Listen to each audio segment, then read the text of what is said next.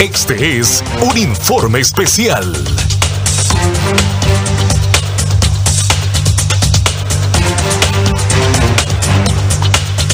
Este es un informe especial.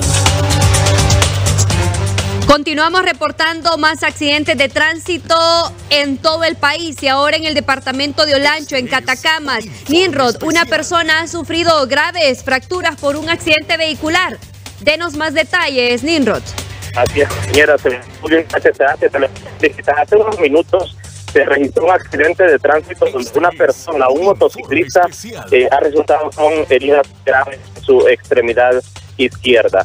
Cuando se conducía su motocicleta fue investido por parte de un vehículo tipo eh, camioneta runner, la cual pues eh, quedó con bastantes daños y las personas por parte de la Cruz Roja hasta un centro asistencial donde ya se le brinda asistencia médica.